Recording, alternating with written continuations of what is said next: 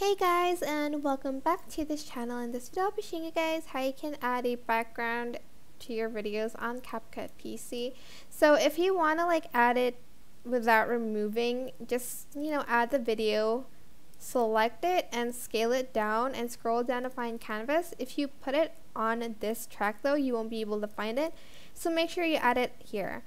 So go to style and here you have a lot of options from the CapCut app itself.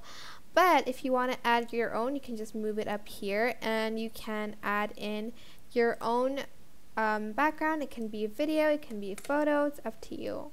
But if you want to add it without remove, with like the background removed, just go to cutout and select auto cutout. Then you can go to basic and go back to the canvas and you can pick your background here again. And that is pretty much it really. I hope this tutorial was helpful for you guys. Don't forget to like, comment, share, and also subscribe to this channel if you haven't done that already. If you have any questions, just leave it in the comment section down below and I'll try my best to answer them all for you guys.